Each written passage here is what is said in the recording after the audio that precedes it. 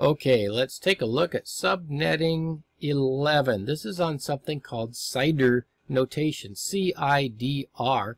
It stands for Classless Interdomain Routing. Well, that's kind of a funky name. Classless, haven't we been talking about classes? Yes, we have. Uh, but later on, we'll be getting into something that's classless. But for now, just accept the name as it is. The concept, though, is very simple.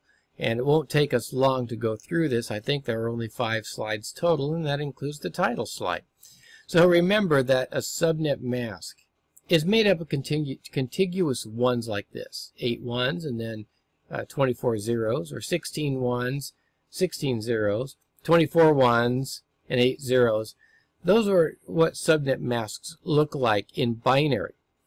But suppose that we just count the ones and then just report that number in order to represent the subnet mask. Not a very difficult thing to do. This one has 8, this one has 16, that one has 24. So what would that look like? It would look like this.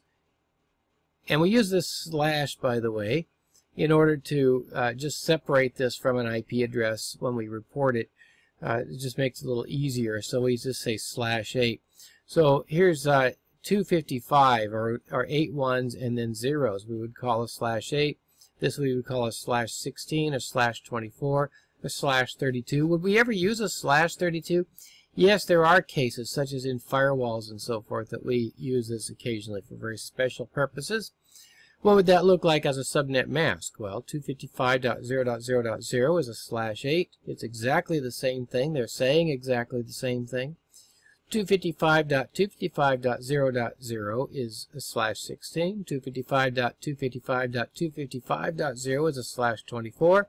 255.255. Oops, I messed that up. 255 it should be.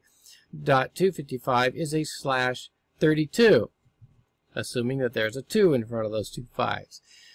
That's what it looks like. Let's look at an actual address. 172.16.58.9 slash 16 tells me that it is a 172.16.58.9 255 255 0.0. In other words, this 16, I can go 8, 16. I can say, well, this part is the network ID. This part here is the host ID because this 16 tells me that 16 ones. There's 8 ones here, there's 8 ones here in the subnet mask.